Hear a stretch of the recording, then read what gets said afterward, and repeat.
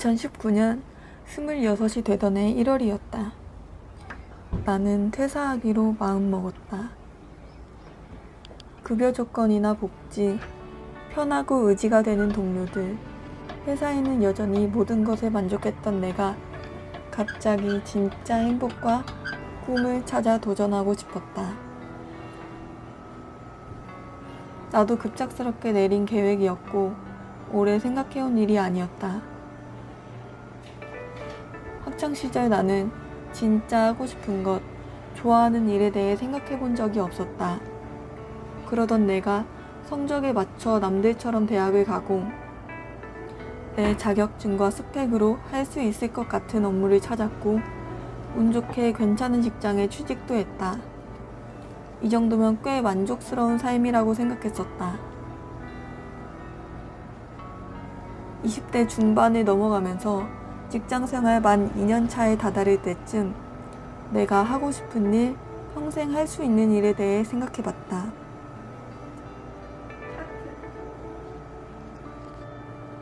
내가 지금 일을 하면서 즐거운가? 계속 배우고 싶은 일인가? 너무 싫었다. 생각만 해도 끔찍했다. 이대로 회사 일만 하기엔 내 청춘이 너무 아까웠다. 20대에 내 꿈을 찾아 도전하고 싶었고, 회사 일이 아닌 내 일을 하고 싶었다. 나는 다른 사람을 도와주는 일, 기쁨을 주는 일, 행복감을 느끼게 해주면서 만족을 느낀다. 사회에 조금이나마 도움이 되는 사람이 되길 바랬다. 마침 입사 초기 때부터 취미로 꽃꽂이를 배워왔고, 식물과 꽃 관련 일을 하면서 많은 사람들이 식물을 잘 키울 수 있도록 도울 수 있고, 내가 만든 작품으로 사람들이 기뻐하는 모습을 상상하기만 해도 행복했다.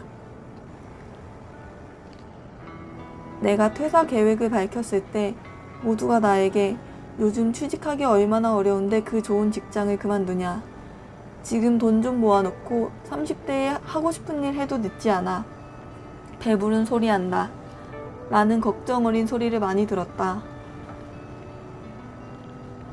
수없이 많은 반대에 맞서야 했다. 지금까지 내 사업 중 제일 큰 난관이 이때였던 것 같다. 내 주변 사람 모두가 내 적이 되는 것 같았다. 그럼 나는, 내 행복은? 물론 나를 위한 조언인 건 알지만 그런 소리를 들을 때마다 나보다 내 행복보다 돈이 더 중요한 가치인가 서글펐다. 다들 너는 아직 행복해질 자격이 없어. 더 벌어야지.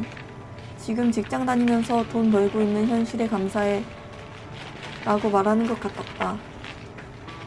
나한테 저런 말 하는 사람들 다 본때를 보여줄 거야 라고 다짐하면서 더욱 일을 갈고 내가 하고 싶은 대로 밀어붙였다.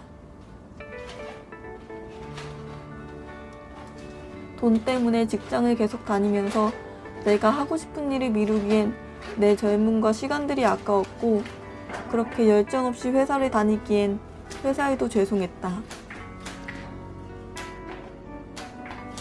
내 마음은 이미 흔들리지 않는데 회사에서 다시 생각할 시간을 너무 많이 주셔서 부담스러웠다. 마지막 날엔 전 부서를 돌며 작별 인사를 드리는 게 관례인데 근무 마지막 날까지 너무 바빴어서 고마운 분들께 인사를 다 못 드리고 온 게 아직도 아쉬움이 남아있다. 다른 꿈을 찾아 떠나는 막내에게 도움되라고 사업 경영과 식물 관련 책, 그리고 건강 챙기라고 홍삼 챙겨주시던 우리 팀원들, 그리고 이사님, 진짜 잊지 못한다. 나름 원대한 목표를 갖고 열정적으로 회사를 다니고 관련 공부를 할 때도 있었는데, 그때 생각에 울컥하기도 하고, 내 욕심 때문에 좋은 동료들과 고마운 회사에 배신을 하는 기분이 들어 죄송했다. 그렇게 급한 계획은 아니었기 때문에 시간적 여유를 갖고 퇴사 희망이 두달 전에 퇴사 의사를 밝혔고 회사에 패 끼치지 않기 위해 업무 특성상 1년 중 가장 바쁜 시기를 보낸 후에 퇴사하기로 마음먹었다. 음, 이렇게 26, 3월 첫 직장에 나오게 되었다. 출근 마지막 날에 찍은 영상들이 있어 조금 올려보려고 한다. 감사합니다. 이렇게 좋은 회사 그만두는 만큼 진짜 열심히 해서 성공해야겠어.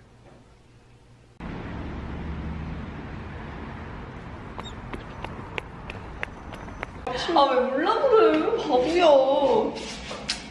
아, 나 씩씩해. 안녕. 안녕. 안녕. 나 시계 자랑 한 번만 해도 돼? 아 내 선물. 아, 내 거.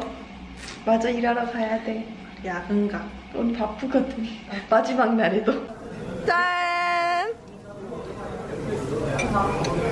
저 내일 진짜 출근 안 해요. 나와 내일. 아.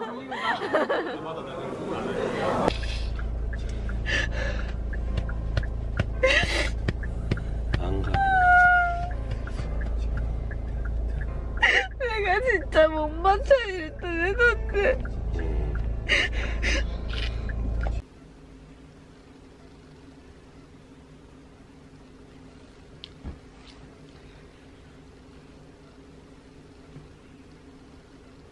지금 회사가 있을 시간인데 적응이 안 되네요.